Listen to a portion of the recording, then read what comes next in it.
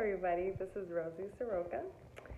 I really hope everybody's having a fantastic day. I mean, it's a little cloudy out here in Miami, but it's still a beautiful day. It's like, let me just chill at the house for a little bit, huh? I decided to make chocolate pudding today. It's like a power pudding, protein power pudding, uh, whatever. It's good for you, and it's really good too. So what you're gonna need is two scoops of chocolate protein powder. I'm gonna use vanilla because if I use chocolate and I'm gonna add a little bit of cacao to it, it's actually gonna be too chocolatey for my flavor. But hey, each his own, right? One cup plain Greek yogurt, two teaspoons unsweetened cacao powder, and you can use any type of sweetener, like one teaspoon. Um, I'm gonna use honey. And if you got any vegetables, I mean, fruits, not vegetables. if you got any fucking fruits, you can put your little fruits in there and make it really, really good. So if you got strawberries, raspberries, or something like that, it's gonna be great, okay? I'm thinking about lunch already.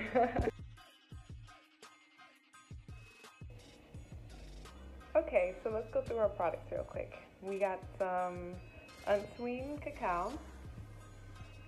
Mine's a little bit strong. I brought it from Nicaragua on my recent trip. So it's really, really good. Um, I have my Greek yogurt, my protein powder, two scoops. This is gonna be two servings, so you can eat one now and you can save one for later. My honey that I'm gonna be using, which is one teaspoon. I use a little bit more because I like mine a little bit sweeter. So it's a little bit under a tablespoon. And my extra options, cinnamon, because I love cinnamon, and hemp seeds. You can use chia seeds too. This is very easy. Just get a cup that you like, that inspires you to be great. Pour everything in there. My honey.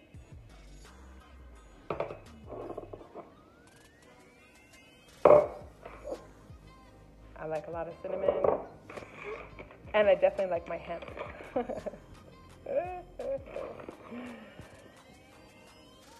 okay.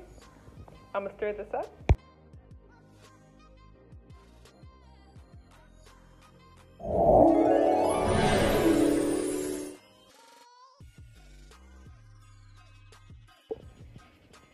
That was so easy.